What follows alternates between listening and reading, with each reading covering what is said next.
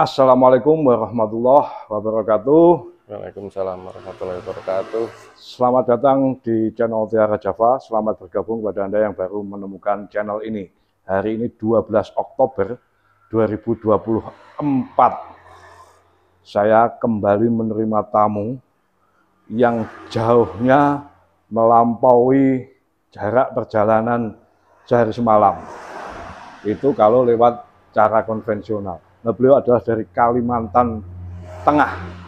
Selamat datang Sugeng Rawuh Mas Rudi. Rudi nggih. Mas Rudi beserta istri nyonya. Nggih. Mbak Ike. Nggih. Mohon diperkenalkan, Mas. Nggih, saderengipun nggih. Nami kula Rudi. Belum masih bisa Jawa kawan-kawan. Nggih. niki istri kula Nike. Nggih. Nggih, ten mriki nggih badhe niku anu Pakde nyuwun niki napa? Pentom niku. Phantom kultivator Phantom Nggih, kultivator pentom niku. bermesin diesel, bahan bakarnya solar, kapasitasnya 6 horsepower atau 6 PK, 6 HP, jadi setara 6 daya kuda, gitu Mas ya. Jadi saya tunjukkan sebentar, nanti kita ngobrol lagi ya Mas. ya. Nggih, siap. Nah, ini kawan-kawan, yang Mas Rudi beli seperti ini. Phantom, ya kan? Ini mini tiller. Ini nanti karetnya bisa diganti dengan eh, cakar. Pisau rotari.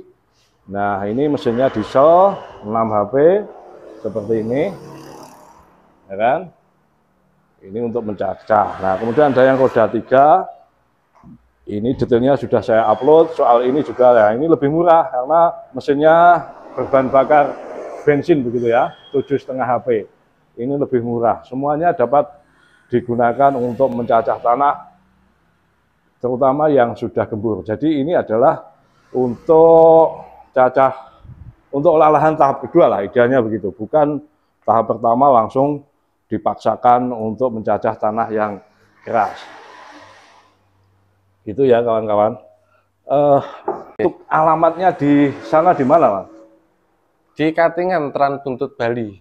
Kabupaten Katingan Kasong. Hilir, Nggih, kecamatannya Kasongan. Kasongan, Nggih. Kelurahan. Eh, desanya apa tadi? Desanya Lupa ya? lupa. Enggak, beliau ini membelikan mesin untuk Pak D. Pak D adalah eh, apa ya? Paman omnya. Eh bukan, Om, pamannya lebih besar. Ya gitu lah, pokoknya Pak D ya. Nah, Nggih. eh itu tapi jenengan di sana juga bertani kan? Insya Allah nggih bertani. Hmm, tanam apa ini, Mas? Insya Allah mengke lombok kali jagung. Lombok dan jagung, cabai dan jagung. Kalau Pak D, Nggih niku. Sama ya? Nggih. eh, jadi sifatnya kerjasama ini. Saya sama nggih. Oh. Me- Belajar nih kita saya belajar. mengelola lahan seberapa luas Mas di sana itu? Insya Allah gangsal. 5 hektar ya. Nggih. Bahasa Indonesia nggak apa-apa Mas. Oh ya nggih. 5 hektar, kemudian itu rencana ditanami semuanya begitu, jagung dan eh, lombok. Insya Allah pelan-pelan. nggih.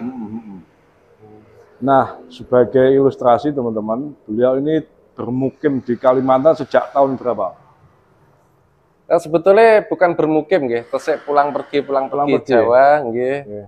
Cuma domisili Kalimantan nggih 2004 2004. Nggih. Sejak 2004 setelah kerusuhan sampai nggih. itu beliau di sana, kemudian di sini di Jawa ini beliau leluhurnya berada di Saradan. Iya, Bapak Saradan. asli Madiun Saradan. Nggih. Ibu?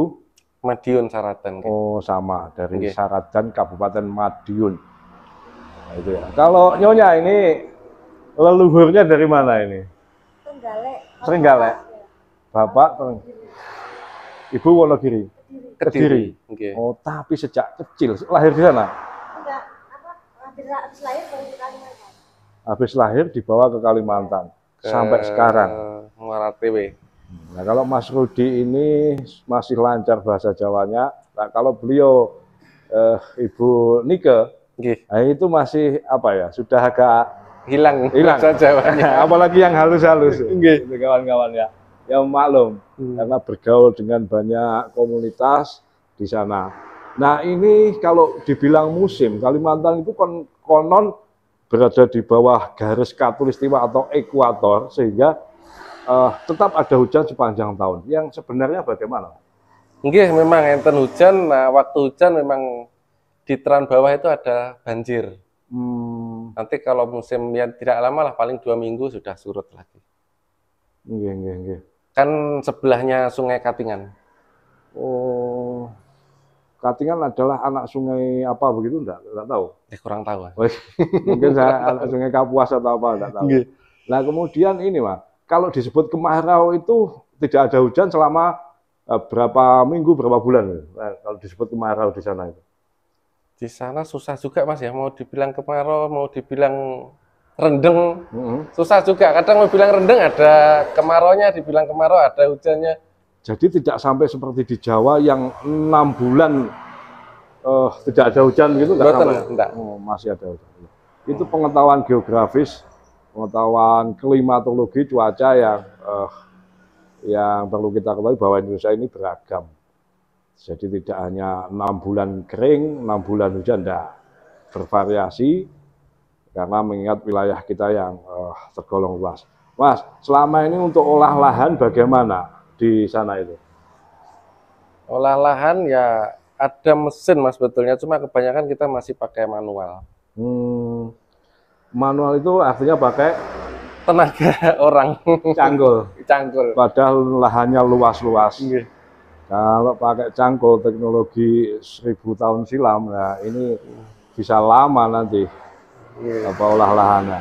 Tapi ada kan mesin bantuan dari pemerintah. Ada, ada bantuan dari pemerintah, ada nggih, gantian lah. Roda empat itu, yang Nggih. roda empat mesin besar ya. Gantian nggih.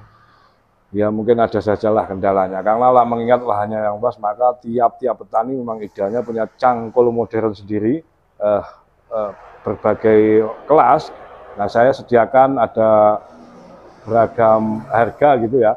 Kendala lain kalau di sana itu bertani apa mas? Kalau harga jual saya dengar relatif oh, sangat tinggi dibanding di Jawa, harga jual hasil bumi.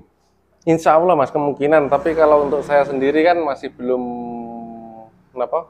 Intinya belum mendalami di pertanian di sana. Ini Oh. baru mau belajar Bersama Pak D. bersama Pak D. Kalau Pak D memang sudah domisili di sana. Gitu.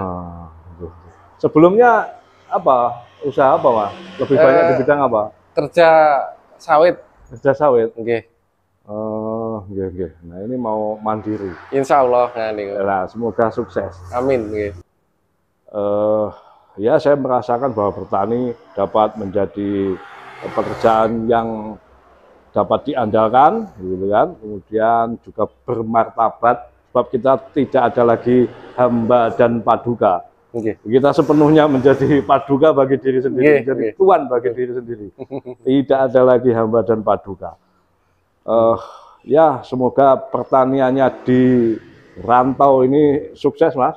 Amin. Nggih, Itu amin. kuncinya banyak sekali kan ya. Nanti Pak D yang lebih senior itu Nggih. pasti membimbing secara lebih eh, disiplin dan pengetahuannya banyak. Amin. Oke.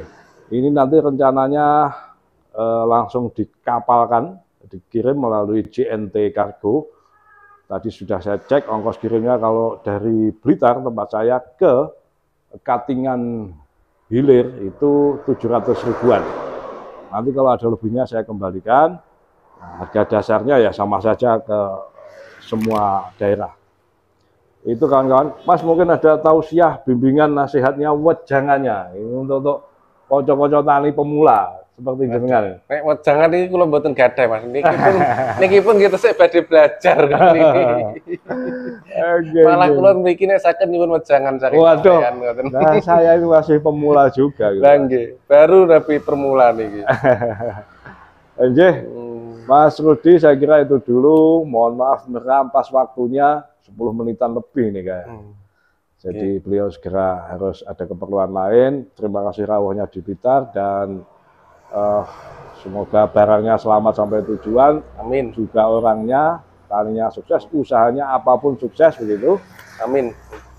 Dan ibu juga saya ucapkan matur sembah nuwun, Bu Nika. Saya kira itu dulu teman-teman. Ada kurang lebihnya saya ucapkan mohon maaf. Matur sembah nuwun.